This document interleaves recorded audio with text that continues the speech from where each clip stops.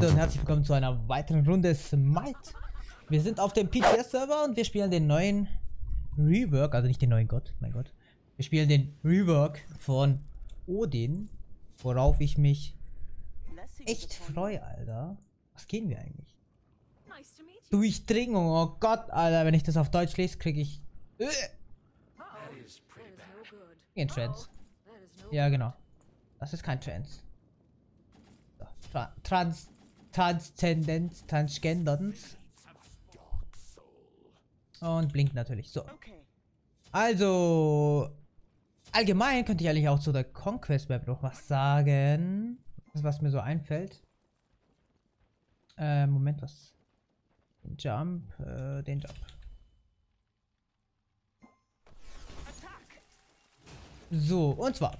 Ähm, und zwar Camps wie Speed Buff, Purple Buff spawnen schon bei Sekunde 20, was, ähm, was zum Fick geht auf der Duellane Was als Hilfe dafür war, dass nicht mehr so viel invaded wird. Weil ja der Speed Buff dauer invaded wurde. Jetzt haben die weniger Zeit zu invaden, weil die schon bei Sekunde 20 spawnen. Der Speed Buff. Ähm, ja.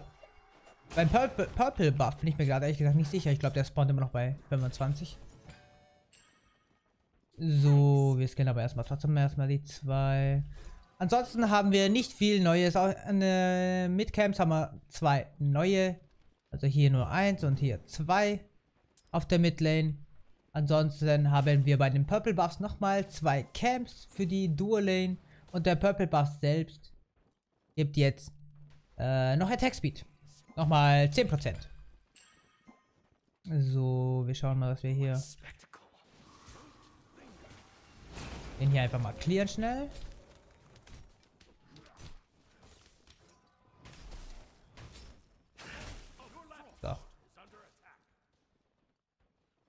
Jetzt haben wir, wir haben auf jeden Fall viel mehr Farm in der Midlane. Was auch, uiuiui, was auch ein guter Grund ist, für den Support zum Beispiel viel in die Midlane zu rotieren, aber auch viel wieder in die Dual-Lane zu rotieren, weil auf der Dual-Lane sind jetzt auch, warte, auf der Dual-Lane sind jetzt halt auch noch zwei Camps. Und wenn der Support da wäre, um die zu sichern, das ist natürlich echt nice.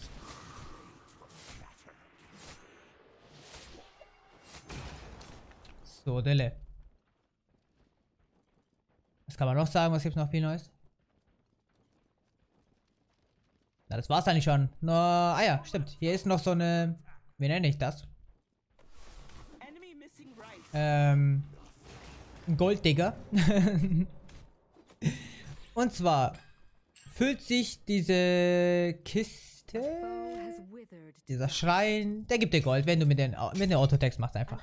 Und der füllt sich je mehr ähm, Jungle Camps deine Teammates machen, desto schneller füllt sich der. Also immer wenn du ein Jungle Camp machst, füllt sich dieser hier mit Gold. Und dann kannst du da hingehen und dein Gold einsammeln.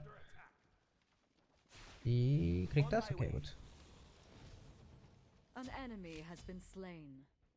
So.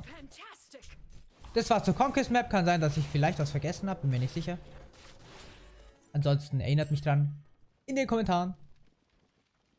So, kommen wir zu Odin Rework. Ähm, die, die den Patch gelesen haben, wissen, warum sie überhaupt einen Rework gemacht haben. Allgemein, es gibt immer Gründe für einen Rework. Laut Iris. Und zwar, wenn der Gott nicht mehr oft gespielt wird, wenn seine Winrate nicht hoch ist, wenn er einfach nicht, nicht populär ist, äh, wenn der Balance nicht mehr passt, also wenn einfach jeder Gott besser ist als der hier. Oder wenn die Community selbst auf Twitter oder sonst irgendwo, wenn die Pros sagen, okay, der Gott ist einfach scheiße langsam, der braucht mal wieder was Neues. Das sind so Gründe für einen Rework. Natürlich stimmt jetzt nicht alles für Odin zu, weil seine Winrate ist äh, nicht wenig. Moment.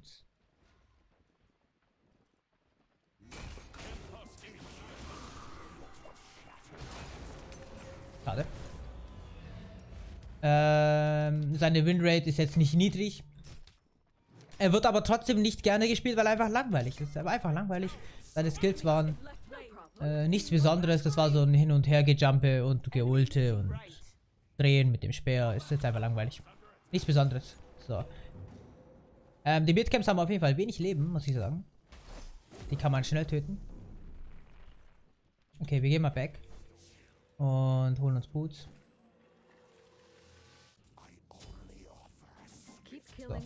Ungefähr keine. So. Ähm, dann haben wir einen Schutzstein. Nicht Schutzstein, ein neues Relikt, was ihr direkt am Anfang habt. Das ist eine Sichtscherbe. Wenn ich das auf Deutsch ausspreche. Das ist einfach eine Wort, die ihr am Anfang direkt habt. Dieses Ward-Relikt hat man halt eingeführt, wegen diesen ganzen Invades am Anfang, dass man jetzt nicht extra eine Ward kaufen muss, sondern trotzdem seine Pots kaufen kann, aber trotzdem noch eine Ward platzieren kann beim Speed zum Beispiel ähm, falls man invaded wird, dass man Bescheid weiß. Auf jeden Fall habt ihr jetzt am Anfang umsonst ein Relikt, mit dem ihr Wards setzen könnt, mit einem Cooldown von 120 Sekunden. Äh, bei Level 12 könnt ihr das dann upgraden, wenn ihr wollt, oder ein neues Relikt kaufen. Also das bleibt nicht für immer, sondern nur bis Level 12. Wenn ihr das upgradet, hat es einen äh, kleineren Cooldown. Das heißt, ihr könnt öfter eine Ward setzen. Die Frage wäre jetzt, geh mal kurz nach links, äh, wir kommen gleich zum Odin River, keine Sorge. Oh Gott. Nein. Na?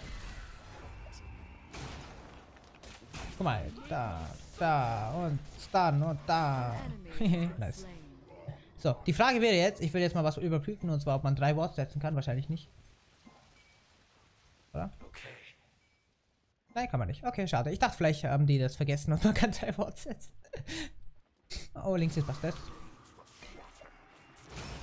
So, das war's erstmal zu Conquest allgemein. Ein paar Veränderungen. Ich, es gibt auch sehr viele Items und so, die nenne ich jetzt aber nicht. Es geht hauptsächlich gerade um Odin. Nein. Boah, Digga, der hat aber gerade ausgewichen.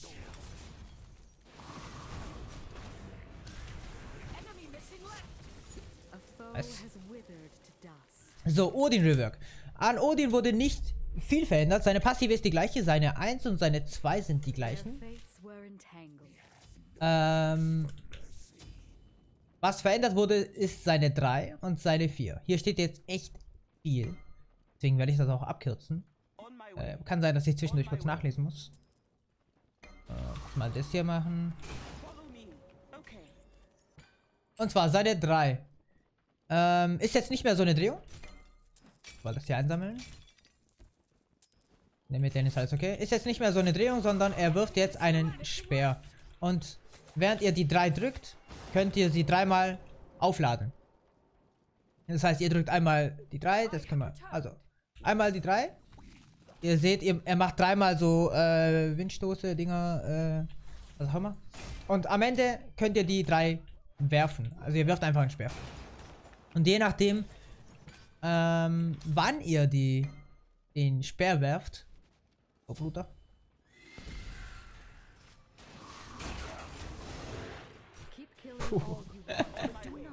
Der war knapp.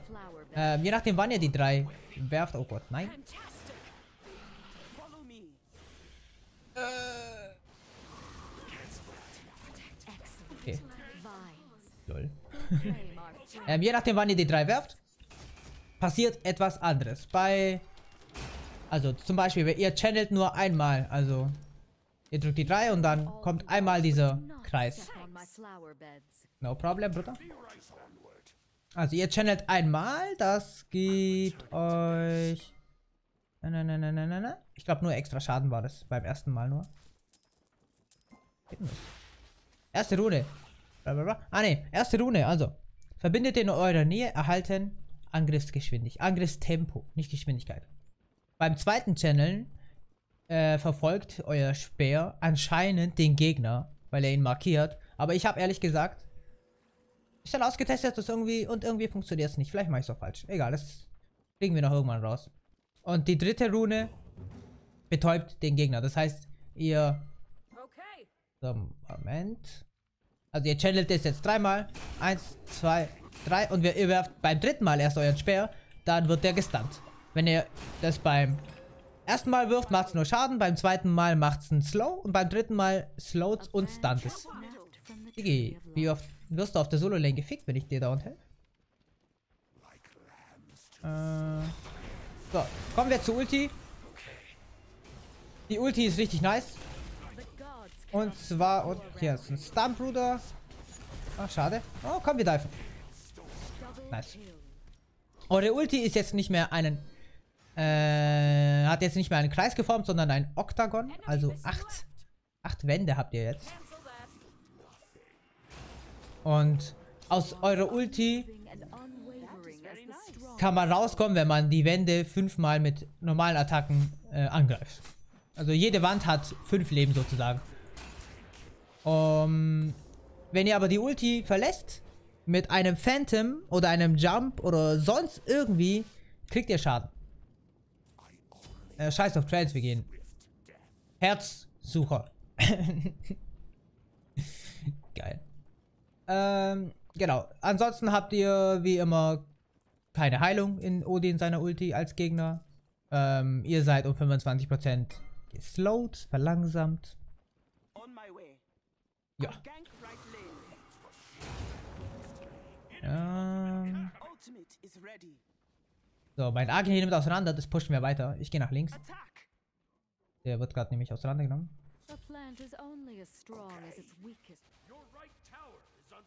So, wir machen jetzt mal... Ah ja, das ist Bastet ihre neue Passive, die sieht...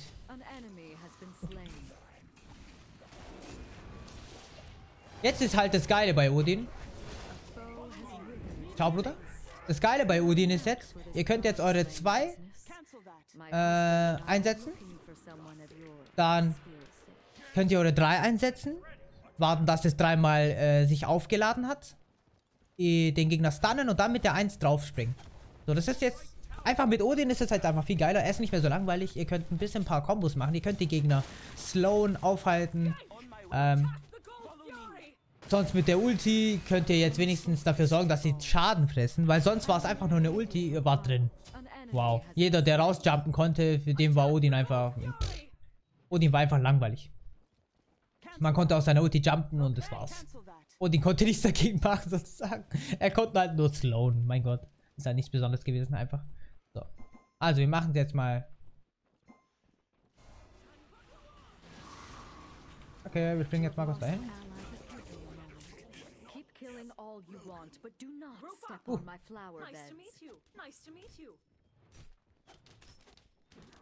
Also ich finde auf jeden Fall auch, dass Odin einen Rework gebraucht hat. Er war wie gesagt nicht populär. Man wollte ihn nicht wirklich spielen, auch wenn er gut war. Also es war ja nicht, er war nicht mal schlecht. Man hat mit Odin viel anfangen können. Nur war er einfach langweilig. So, das war immer das gleiche. Ihr habt eure zwei äh, eingesetzt, dann eure mit eurer, mit eurer Jump drauf, damit die zwei explodiert und äh, irgendwie langweilig. Gehen wir noch. Da wird Hydras? Oh, keine Ahnung, Hydras? Ist ja auch egal. Das Wichtigere ist gerade, den Odin Reverb zu erklären. Ähm, ich dachte eigentlich, guck mal, ich habe kein Ping. Ich bin auf einem Army-Server und ich habe kein Ping, Alter.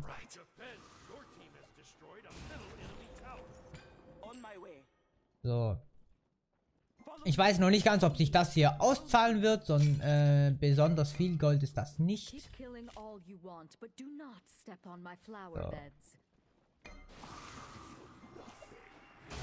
So. Lucky Bastard. äh, besonders viel Gold ist das nicht. Äh, das wird sich noch zeigen, ob sich das auszahlt. So, du wirst jetzt gestunt. Oh, what? Das hat die nicht gereicht? Schade. Da kommt ein Thanatos.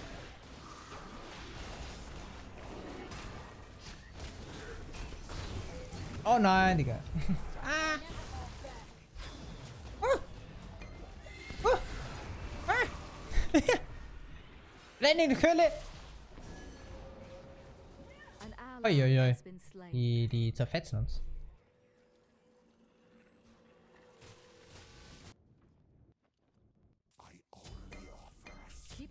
All you want, but do not step on my flower beds. Wird im ähm, outrotated. Oh, wir werden. Digga, wir stehen 21-9. Aber wir verlieren. okay.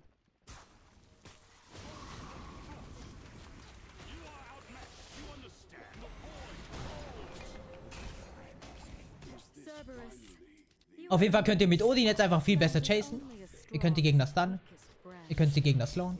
Slowen konntet ihr zwar trotzdem, aber jetzt könnt ihr noch dazu extra noch den Gegner stunnen. Und das macht mehr Spaß. Also ich muss schon sagen, Odin macht jetzt viel mehr Spaß. Allein diese äh, beiden Veränderungen an seiner Ulti und an seiner 3 werden ihn wahrscheinlich schon dazu bringen, dass man ihn öfter spielt.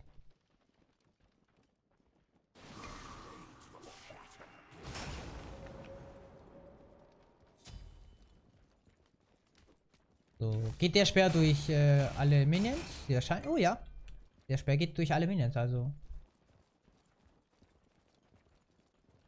Richtig nice. Zum Wave clearen auf jeden Fall auch gut.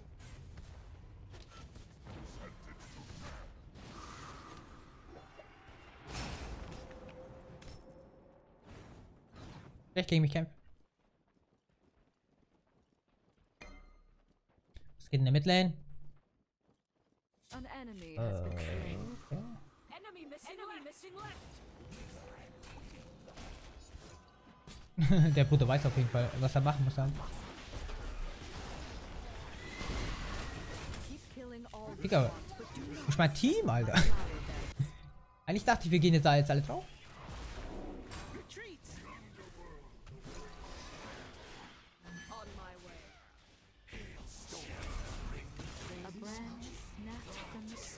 Oh, der Thanatos zerfetzt, Alter. Thanatos Solo. Oh.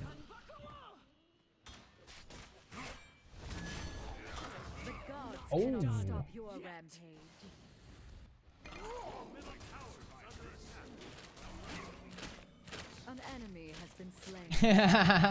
Scheiß Backe, Alter.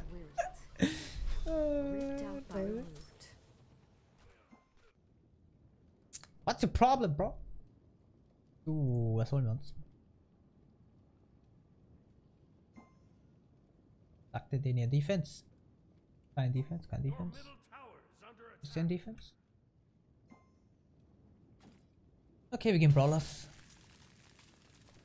Jetzt brauchen wir keine Bots. Scheiße, Bots. Did I kick your mom or something? okay.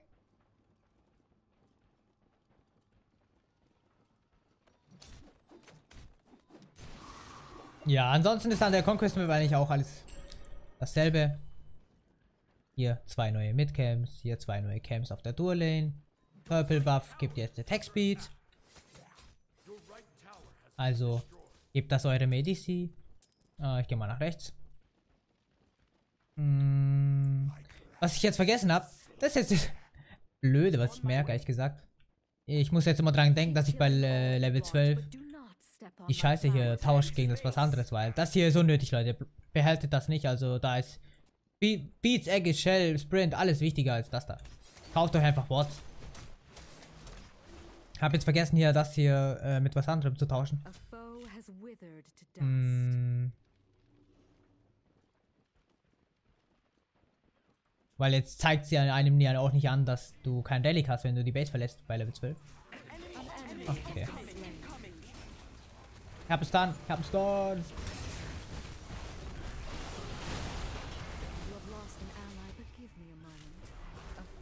Ähm, der ist. Oh, okay, der ist nicht raus.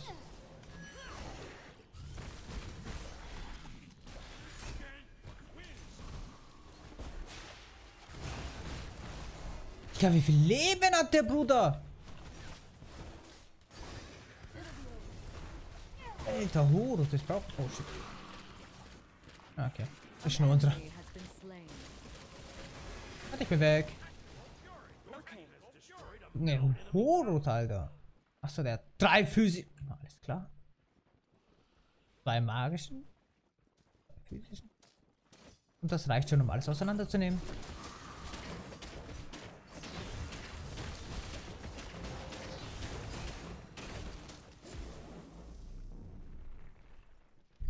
Den schwer zu treffen ist eigentlich nicht schwer, außer die Gegner juken gut. Hm.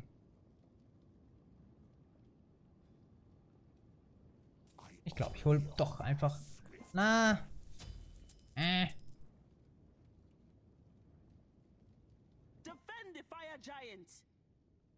Kennt doch selber den Fall.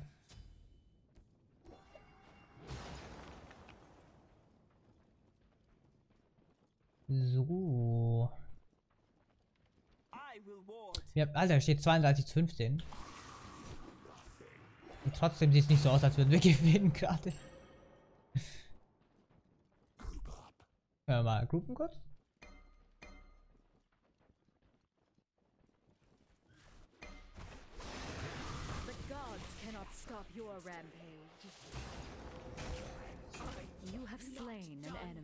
Das ist nice. Das mit dem Speerwerfen ist einfach nice. So, Bruder. Wenn du jetzt rausgehst, wirst du kriegst du Damage und du kriegst noch ein... Sch ah ja, stimmt. Also ein so ein Speer von meiner Wand äh, geht dann und fliegt ihm hinterher, so wie ihr es gerade gesehen habt, und fliegt ihn dann auseinander. Das ist schon geil irgendwie. Muss ich schon sagen, das ist richtig gut gemacht. Wo? Ah, da, in der Mitte.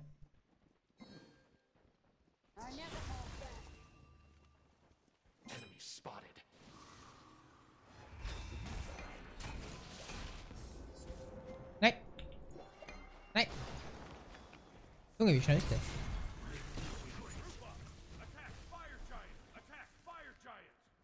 Ähm, naja, mit den beiden vielleicht nicht. Achso, ihr wollt den normalen machen. Okay. Sie sollten auch ein VGS machen für Attack Pyromancer. Jetzt mal ohne Witz.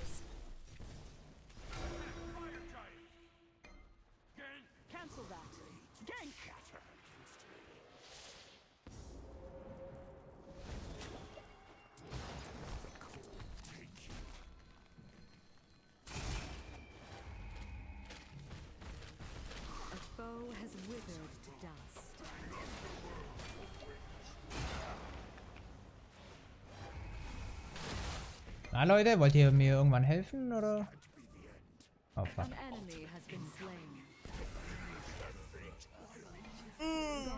Okay. Weiß nicht, warum wir den Thanatos nicht fokussen. Keep killing all you want, but do not step on my flower beds. Naja, der Backer holt uns vielleicht den Phoenix. Oder er läuft raus und wieder rein.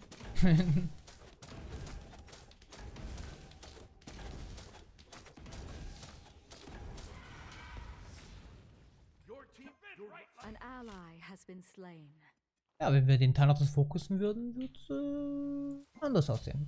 Ja. So, habe ich irgendwas nicht genannt? Ähm, ja, ihr wechselt eure Rune alle 0,7 Sekunden. Was jetzt nicht so wichtig ist. Verlangsamt den Gegner um 2 Sekunden lang. Ja. Ihr channelt eure Runen und werft dann euer Speer. Bei der ersten, zweiten oder der dritten Rune.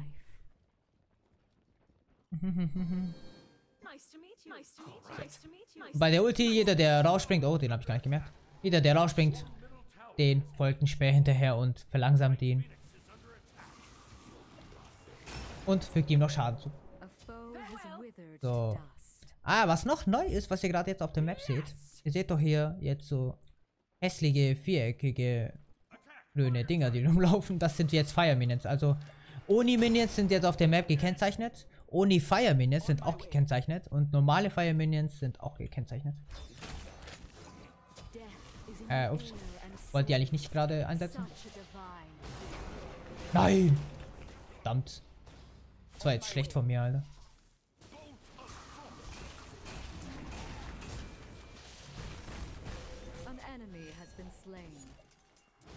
Oh Gott, ich bin tot. Okay, nice. Können wir mal, Alter, können wir mal Tower nehmen oder sowas? Also, ich hoffe, die überarbeiten das noch. Das sieht ja mal richtig scheiße aus. Gold Fury. Ist mir gerade lieber, die safe. Die Oni, die brauchen wir. Das Game geht mir schon wieder viel zu lang, Alter.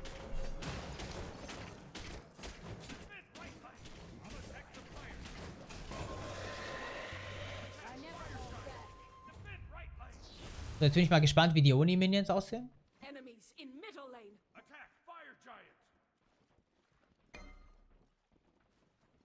Der echt Fire Giant machen Kill Thanatos, Digga.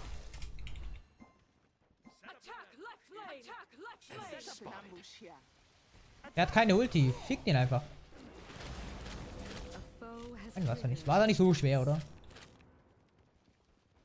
Ah, ohne Minions sehen jetzt so aus? Ja, wahrscheinlich nicht. Das ist ja PTS. Aber ohne Minions werden auch anders aussehen. Ich hoffe, die machen es das einfach schöner. Damit es nicht so hässlich aussieht. So.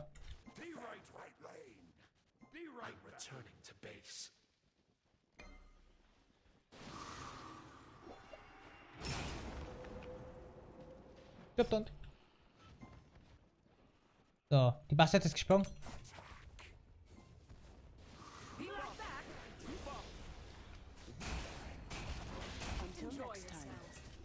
Buff.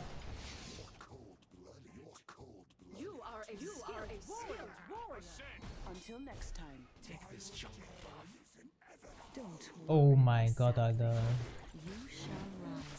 Gleich mal alle muten, Alter.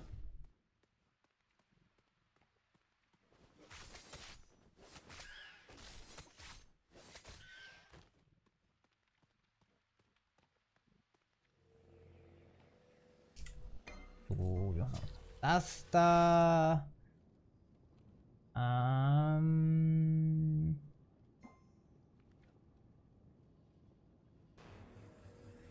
Ich glaube, ich hole mir am Ende noch. Magus Cloak. Eigentlich nicht. Oh, die neuen ganzen Dinger hier muss ich eigentlich auch noch durchlesen. Heilung. Ah, das ist das neue Support-Item, was die Heilung erhöht, genau.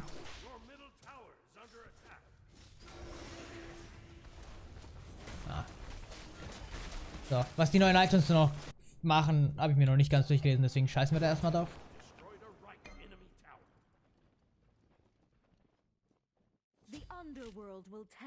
Und ich habe immer noch kein Relikt gekauft.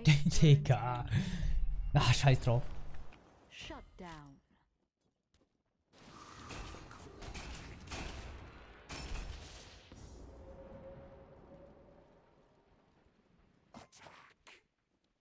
Können wir angreifen?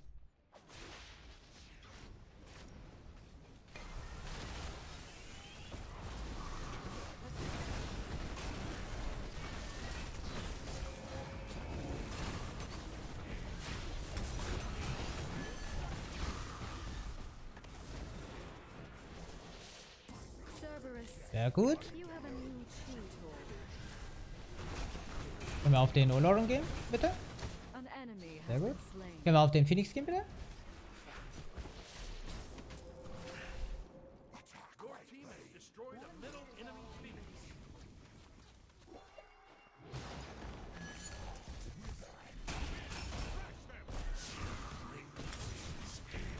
Naja, Bruder, nicht gegen den Agni kämpfen.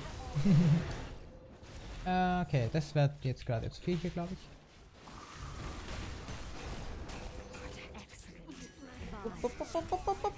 Oh, Gott, zu viel, zu viel, Digga. Ist der Atem tot? Ne, der lebt noch. So, also. Kann ich das jetzt verkaufen eigentlich, oder? Ah, okay. Oh. ah, alles gut.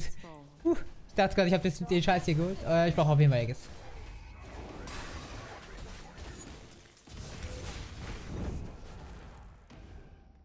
So, wer stirbt jetzt? Arco.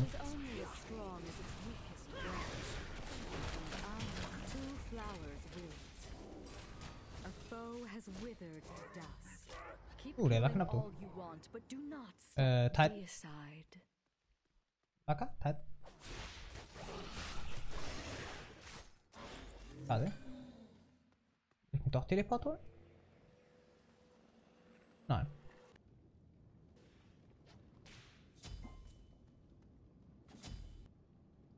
So, ah ja. Also ich sag zwischendurch immer so, was ich, wenn ich mir zufällig was Neues kaufe, dann sage ich was dazu. Ich werde jetzt kein neues Item Guide machen.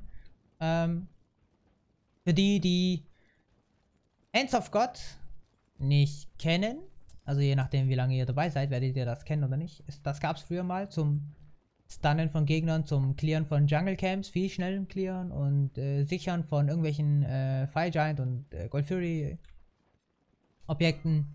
Äh, da hat man dann an der Lebensanzeige von der Golfree zum Beispiel irgendwann hat, hat sich dann die Farbe geändert und dann wusstest du, okay, jetzt kannst du dieses. Das war halt ein Relic statt ein Consumable Item. Dann wusstest du, okay, jetzt kann ich das Item einsetzen.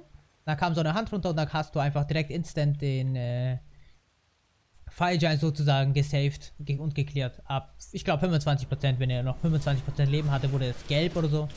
Dann konntest du das schnell klären. Ähm, Moment, ich sag gleich was dazu. Komm schon. Oh Gott, Alter, dein Ernst.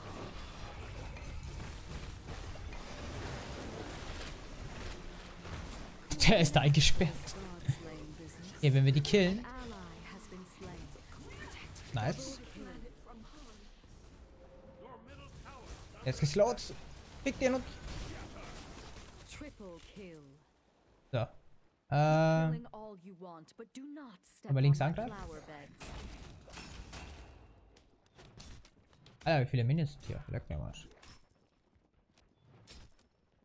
So. Ähm, das ist jetzt wieder so ein Consumable Item diesmal.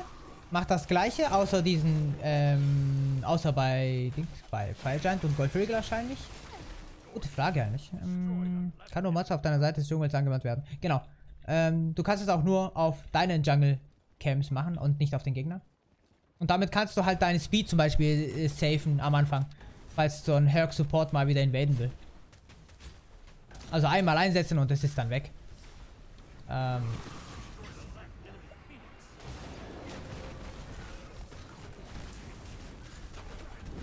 So, wenn er jetzt hier reinkommt. Oh, ich dachte. Oh, ich bin da jetzt echt reingesprungen. Ich bin in- hinter seine Eins reingesprungen gerade. Backer, Digga. Wo bist du, Bruder? Nice.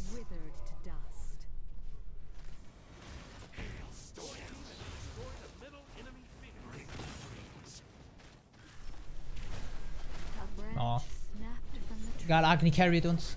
Ja, sehr gut. Oh, schade. You have lost an ally, but give me a moment. Backer, Bruder. Baka, baka, baka. So. Danke. Ja, Leute, das war's zu Odin rüber. Ähm. hm, Kann man nicht viel dazu sagen. Macht Spaß. Macht viel mehr Spaß. Und dann Speer zum Werfen, wenn ihr äh, dann eure Ulti, wenn die raus wollen, müssen die die Wände zerstören und wenn sie rausspringen, kommt denen so ein Speer hinterher und fickt den Arsch. also das ist echt nice. Ähm, ich freue mich drauf, wenn das dann im richtigen Server draußen ist. Also nicht auf dem PTS. Jo, haut rein, bis zum nächsten Mal und tschüss. Fickt euch! Fickt euch! Fickt euch von Herzen! Fickt euch! Fickt euch! Diese Worte sind für uns von großer Bedeutung. Sie helfen uns, das auszudrücken, was wir als Firma anders sehen als andere.